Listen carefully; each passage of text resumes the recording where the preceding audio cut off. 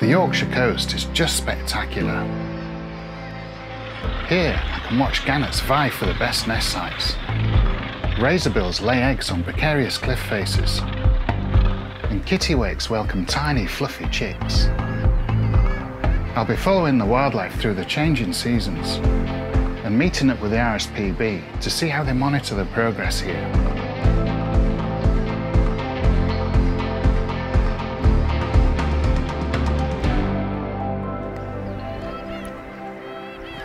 This is RSPB Bempton Cliffs, and it's one of my favourite places to visit. Spring has arrived, and with that, the seabirds are back.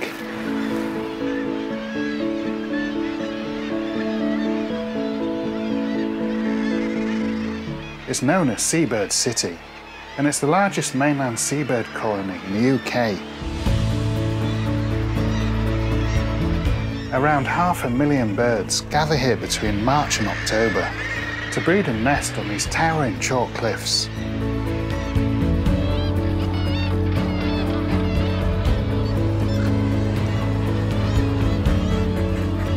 And this is my favourite part of the reserve, Staple Newk. It's a spectacular chalk arch jutting out into the sea. I can spend hours here watching the seabirds all swirling around in great masses. It's the best place to watch the gannets. Gannets have a distinctive courtship ritual, tapping their bills together and preening. They mate for life and return to the same nest site each year to renew their bond.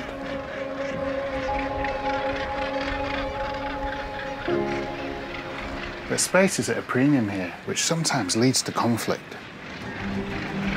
I'm watching them fight for the best nesting sites. It's absolute chaos down there.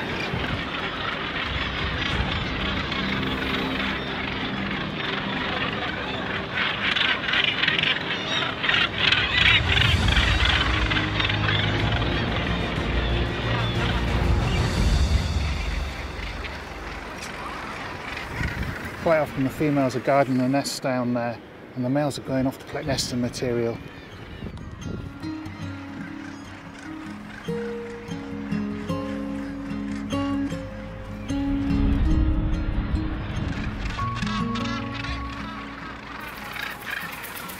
With some cheekily stealing from unguarded nests.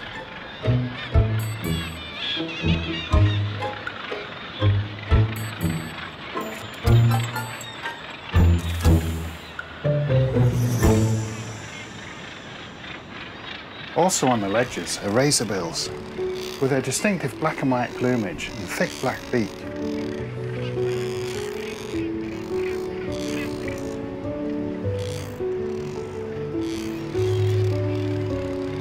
This is a courting pair in what's known as the ecstatic pose, where one bird raises its beak while its mate preens its throat.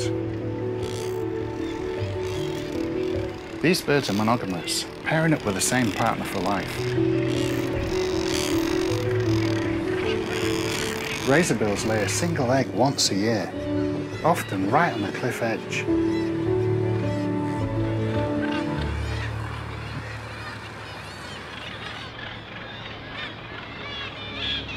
With the sun going down, I get a glimpse of one of the birds this area is famous for. I've got some puffins flying in now. Look at that, they just landed right on the edge of the cliff. So the puffins have been quite few and far between today. They've been out at sea fishing. And look at them, they're so inquisitive. I just love puffins. And they're the perfect end to my day. It's absolutely been great to see all the courtship and nest building down there. And I'll be heading back over the summer to see all the new offspring.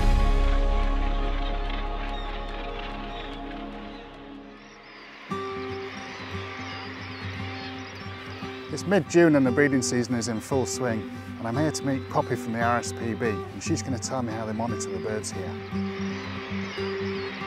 This is incredible, what a view. Absolutely, yeah. It's one of my favourite spots on the reserve, I think. Yeah. So how on earth do you start monitoring all these birds? There's literally thousands there in front of us. Thankfully, I have a really tiny little area of cliffs to look at. So Right. I have a picture of it here. So whereabouts is that on the cliff? So can you see there's a densely kind of packed area of Oh, guillemots Yeah, yeah. just at the top ledge There, and yeah. they kind of snake down the cliffs. Yes, I've got that. And that's where all of my kitty kittiwakes are. Oh yeah. So this is my area of the cliffs and I've got about 50 nest sites that I Mm-hmm. look at within that. But there are loads of other volunteers that have different sections. Poppy and her team record new eggs and chicks on the nests to check productivity rates. It's nice and warm, so they're moving around on the nest quite a bit, so I can Yeah. actually see what's underneath them, Yeah. whether it's eggs, chicks. Um, Yeah. But there's quite a lot of chicks around now, so that's really good. Yeah, I can just see a few down there now. The information gathered by Poppy and the RSPB team helps us understand any changes in the population. I know they're relatively stable at the moment, the seabirds, because I know we've had bird flu, which has hit some of the birds quite hard. We did a full colony count last year, um, and that was really quite impressive to see some of the numbers shoot up. Certainly, kittiwakes had their best productivity year last year for the last 10 years. That's quite incredible, because kittiwakes are one of those birds that are struggling at the moment, aren't they? Absolutely, yeah. yeah. So it's really good to see that they're sort of fighting Pulling back, yeah. yeah.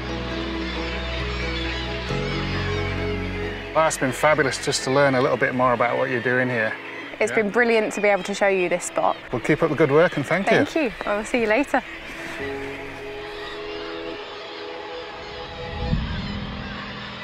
There are plenty of kittiwake chicks, but the guillemot chicks are harder to see.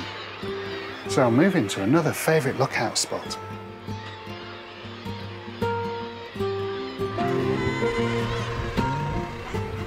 There's so many birds here, it's hard to know which way to look. But just down here, I've got a guillemot, and it's got a little chick underneath it. This is obviously a really precarious life for these chicks, living on these little rock ledges. The chick will stay with its mum until it's about three weeks old, when it will leap from the cliffs into the water.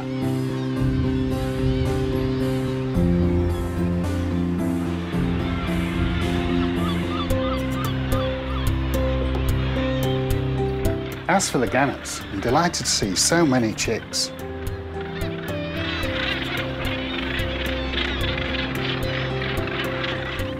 It's been an incredible morning here at RSPB Bempton, and it's been great to learn a little bit more about this amazing seabird colony. And it's heartening to see they're thriving here on the Yorkshire coast.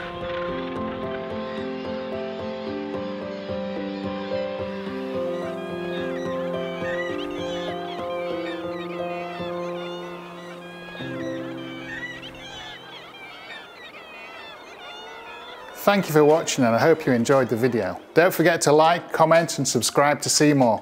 Here's a taste of what you'll enjoy seeing on this channel.